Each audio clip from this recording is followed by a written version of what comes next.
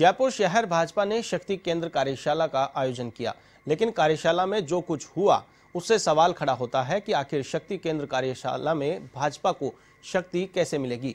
क्योंकि बैठक में भाजपा के ही पाँच विधायक और प्रत्याशी, प्रत्याशियों की दूरी रही। विधायक नरपत सिंह राजवी, कालीचरण सराफ बैठक में नहीं पहुँचे तो उधर कैलाश वर्मा, अशोक प्रणामी भी नहीं पहुँचे।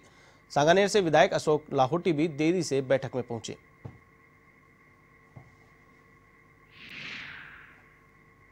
इसी प्रकार का प्रशिक्षण है। जैसे चुनाव के पूर्व की तैयारी और चुनाव के दिन की तैयारी। चुनाव के पूर्व मतदाताओं से संपर्क करना, महिलाओं से संपर्क करना, युवकों से संपर्क करना एस सी के लोगों के पास जाके संपर्क करना, विभिन्न वर्गों के लोगों के पास जाके संपर्क करके चुनाव का वातावरण बनाना, प्रधानमंत्री मोदी जी को बनाना है, इस बात के लिए लोगों को कन्विंस करना और इसी के साथ साथ अपनी कोई तैयारी में चूक न रह जाए, इसके लिए कोई भी प्रश्न, उत्तर जो हों, वो बताना, उनका उत्तर जवाना, जवाब देना। हालाँकि सब कार्यकर्ता चुनाव के एक्सपर्ट हैं, लेकिन फिर भी आधुनिक साधनों का उपयोग करते हुए हमको चुनाव जीतना है।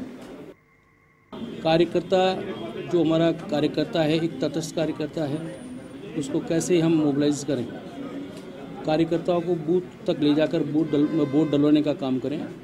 और मैं समझता हूँ कि आदरणीय नरेंद्र भाई मोदी जी का जिससे से पूरे विश्व में एक परचम फैल रहा है, जिससे भारतीय, भारत को एक शक्तिशाली राष्ट्र बनाने का काम कर रहे हैं, महाशक्तिशाली राष्ट्र बनने जा रहा है, बेरोजगार मुक्त भारत बन रहा है, आतंकवाद मुक्त भारत बन रहा है। हर दृष्टि से भारत एक शक्तिशाली भारत बनेगा और 2022 में जब पिछहत्तर आज़ादी के पिछहत्तर वर्ष होंगे तो एक नए भारत का एक नए युग का निर्माण।